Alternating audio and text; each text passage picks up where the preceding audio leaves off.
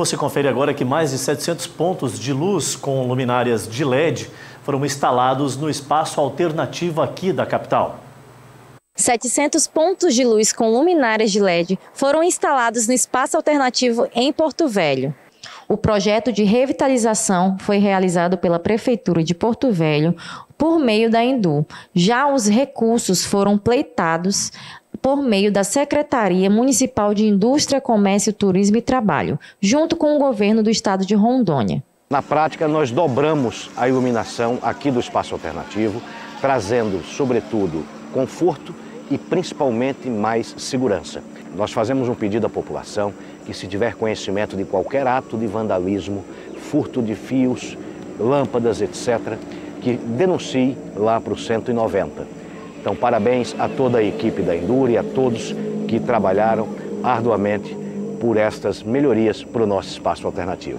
A Sendestu celebrou o convênio com a Secretaria de Obras no valor aproximadamente de 745 mil, sendo cerca de 550 mil repassados pelo governo para a aquisição de materiais a serem instalados no espaço alternativo.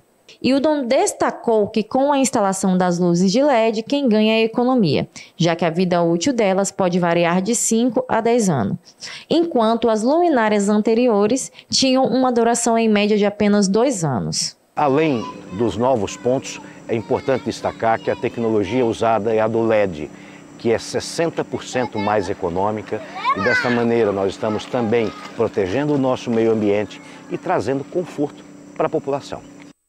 É sempre bom lembrar né, que a questão da iluminação pública contribui para o desempenho da atividade relacionada à área da segurança. Né? Isso contribui bastante. E a economia é considerável, 60% a menos o de consumo. É sensacional. E que se mantenha, né? que a gente consiga preservar isso, que também a Endur dê a devida manutenção para fazer as reposições a gente não tenha problemas mais de iluminação ali naquele ambiente que é visitado por toda a família aqui da capital.